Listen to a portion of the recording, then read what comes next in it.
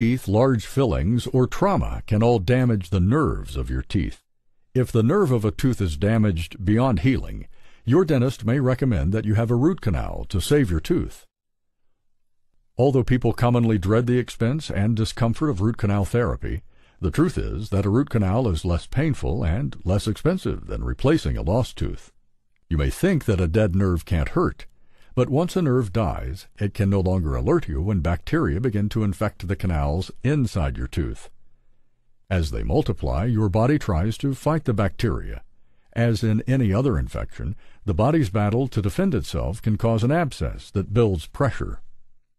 Not only does the abscess hurt, it can also push the tooth out of socket.